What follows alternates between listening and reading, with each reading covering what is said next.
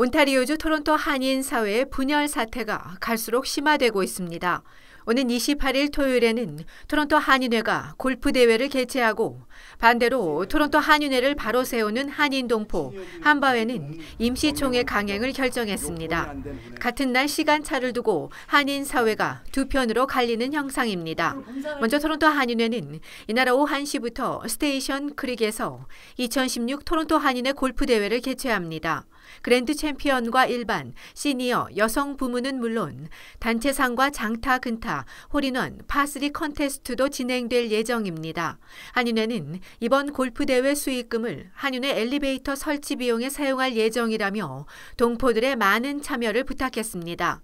반면 한바회는 이날 오전 11시부터 한인회관 대강당에서 임시총회를 개최한다고 발표했습니다. 앞서 한바에는 한인회에 이기석 회장 탄핵안을 제출하고 임총을 요구했으나 거절당한 바 있습니다. 이에 한바에는 회칙 제4장 제8조 제3항에 의거해 임시총회를 소집한다며 정회원들의 참석을 요청했습니다. 한바회는 4월 30일 정기총회 무효와 이기석 회장 불신임안, 내부감사 자료 공개, 제1차 정기이사회 무효화를 주장하고 있습니다.